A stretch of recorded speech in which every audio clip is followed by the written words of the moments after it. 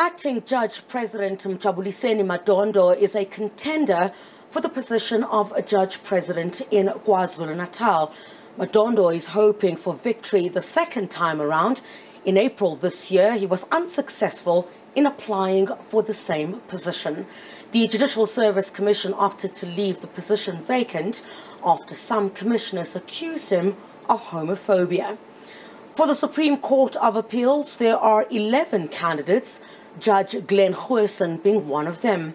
He's a struggle activist who headed the investigating unit of the Truth and Reconciliation Commission. As South Africa edges towards the 2024 national elections, Judge Baratang Mocumie, who is a current judge at the Supreme Court of Appeal, will be interviewed for the position of head of the Electoral Court. If successful, she could be the first woman to head the institution.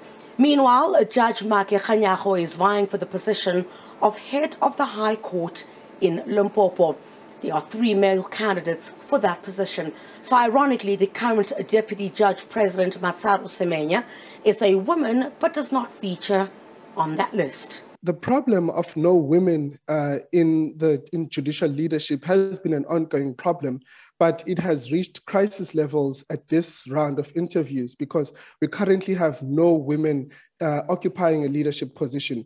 Um, the last woman was Justice Maya, who's now Deputy uh, Chief Justice, which is a, a, not the head of a court.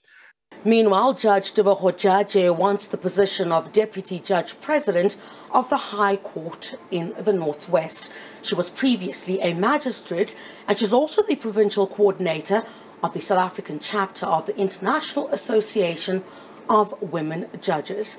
The interviews are running until the 11th of October.